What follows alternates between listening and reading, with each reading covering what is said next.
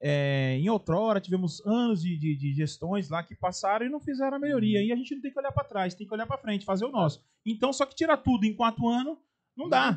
É. Agora, se perguntar, Kleber, o que, que você fez? A rua da Chatuba foi asfaltada, a Coronel Vilar foi asfaltada, São Jorge foi asfaltada, iluminação em, em, vários, em grande parte foi iluminado, playground não tinha contento no área, no área é, verde, que ali a Praça da Seringueira foi colocado, e entre outras melhorias que a Vila ganhou, ponto de ônibus, é um absurdo dizer que a Vila não tinha ponto de ônibus, gente.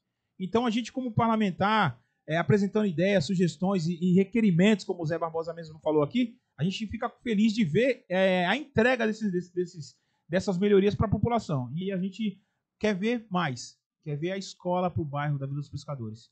As crianças poderem estudar é perto de casa. A mãe poder é, chegar e ter o seu filho ali com mais segurança, segurança, mais perto de casa. Uhum. Poder participar da festinha do filho, da reunião do filho porque está no bairro. Assim, não tem como um bairro com 18 mil moradores não ter uma escola. Tem que ter uma escola na vila. Então a gente está lá para isso, para ver o prefeito executar. Eu sei que é um sonho do prefeito também. E a gente vai compartilhar desse sonho junto, que vai atender aquelas mães que elas merecem muito essa, essa, esse retorno, essa entrega.